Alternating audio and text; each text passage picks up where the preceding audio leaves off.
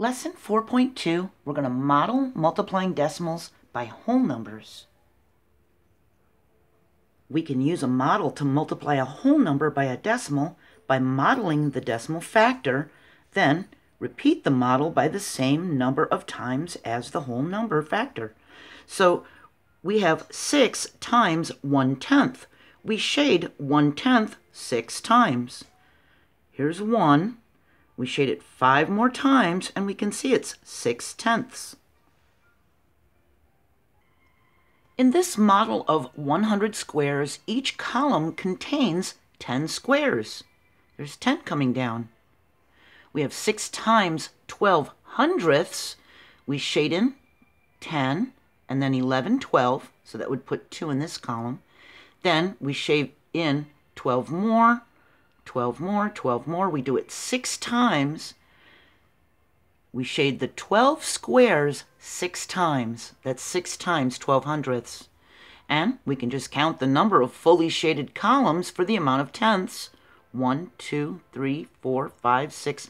That's seven columns of 10. So that would be 7 tenths. Then we have two little hundredths here.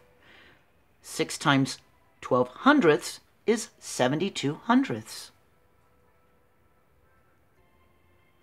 6 times 12 hundredths means 6 groups of 12 hundredths. We could even do repeated addition. 1, 2, 3, 4, 5, 6 we have 12 hundredths 6 times, it's equal to 72 hundredths. So 6 times 12 hundredths is the same as 6 addends of 12 hundredths. 2 times 27 hundredths means two groups of 27 hundredths. We shade 27 squares two times. We count the columns of 10 as tenths one, two, three, four, five. Then count the remaining squares as hundredths, and there's four here. So it's equal to 54 hundredths. That's 5 tenths and 4 hundredths as 54 hundredths. There are 54 of 100 squares shaded. When the entire model is shaded, it represents the whole number 1 and each small square represents one hundredth. Each tiny little square, they each represent one hundredth of the model, and each column represents one tenth. They each represent one tenth of the model. Here we have 2 times 43 hundredths. We shade 43 squares two times. And we know the product is less than one whole because we didn't shade the entire model. And we count the columns as tenths and the remaining squares as hundredths. We have four, five, six, seven, eight. So we put an 8 in the tenths place. And we have one, two, three, four, five, six in this column. We have 86 hundredths. 2 times 43 hundredths is equal to 86 hundredths. And that's similar to 2 times 43 is equal to 86. Both products have the same digits, an 8 and a 6, but there is a decimal point in 86 hundredths. For 2 times 43 hundredths, we have zero places for a decimal here because it's a two whole. But we have two place values of a decimal here. We have one two hops. From the right side to the decimal point, there's two hops. So there's going to be two decimal hops, two places in the product.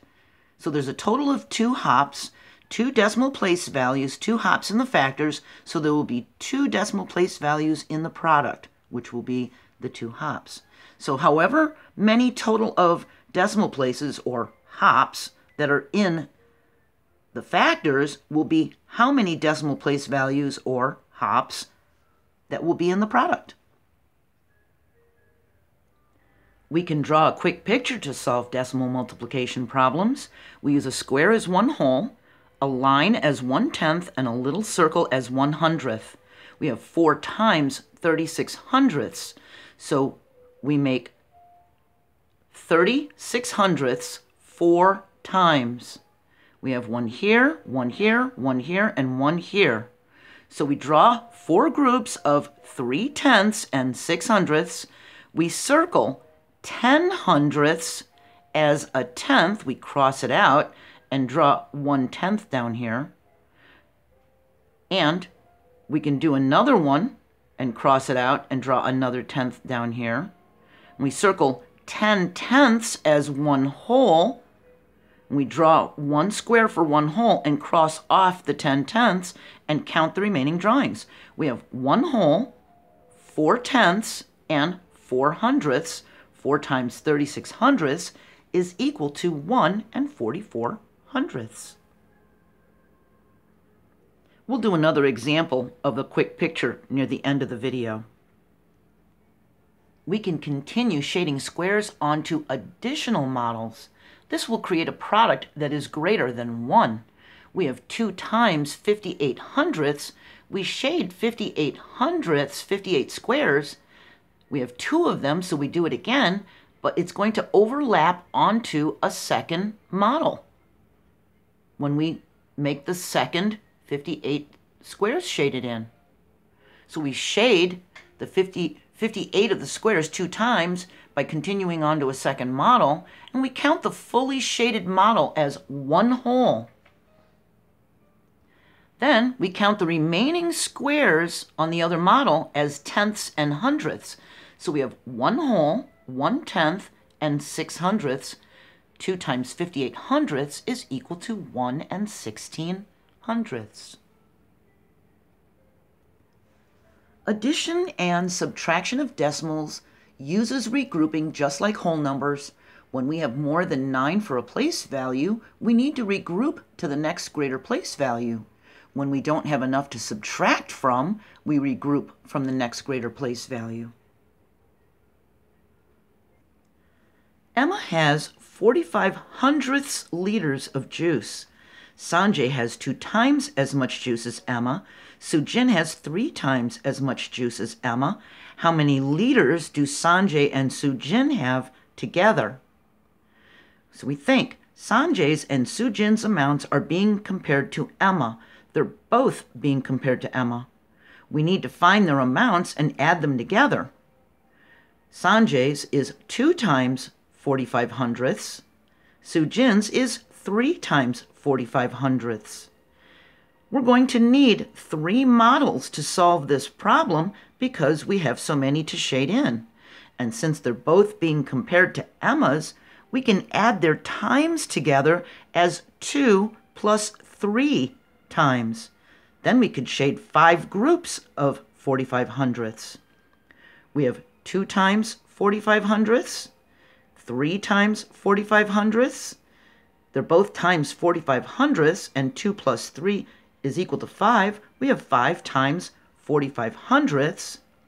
We have one full shaded model, another full shaded model, so that's two full shaded models, so that's two whole, and then we have two tenths here and five hundredths.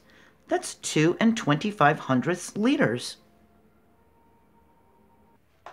Sarah's dog drinks 38 hundredths liters of water each day. Bob's dog drinks twice as much water each day than Sarah's dog. How many liters of water do both dogs drink in one day? So we think. It says Bob's dog drinks twice as much as Sarah's. That means times two. We find the amount for Bob's dog, add it to the amount for Sarah's dog to find the amount of water they both drink in one day. So we can do a quick drawing we have 38 hundredths as three lines for the tenths and eight little circles for the hundredths two times. We regroup 10 of the hundredths as a tenth right here.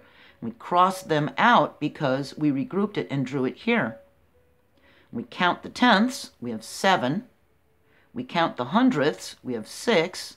So 2 times 38 hundredths is equal to 76 hundredths. Now we need to add Bob's dog's amount to Sarah's.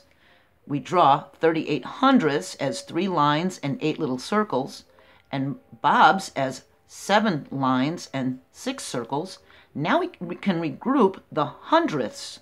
We can circle 10 of them as a tenth. 10 hundredths is one tenth. And we draw a tenth here, and we cross this out because we've now drawn this tenth here to represent it. Now we can circle 10 tenths and regroup it as one whole. We count 3, 4, 5, 6, 7, 8, 9, 10. That makes one whole. We can draw a square for one whole. We cross this out after we draw the square. It's now being represented by this square. We can see that we have one whole, right our decimal point. We have one tenth right here, and we have four hundredths. It's one and fourteen hundredths for both dogs. We make sure to label our answer as liters. It's one and fourteen hundredths liters.